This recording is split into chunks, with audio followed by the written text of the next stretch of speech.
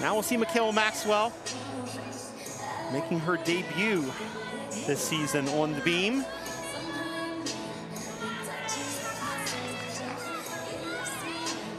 And Actually, her career debut on the beam as well for Iowa State. That's exciting. Huge handspring layout. Stuck at that landing.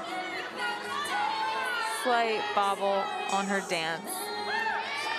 And with Anna Palacios out, with Kaya Parker out, with Natalia Ross Vaquer out for the season, there's going to be opportunities. Yep, she had to step up.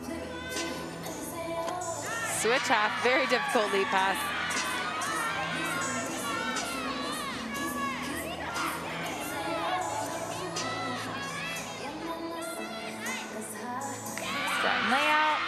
A big wolf jump. You can tell there are some nerves here, but that's normal. It's her first time ever competing beam in college. Huge front gainer pike off the end of the beam.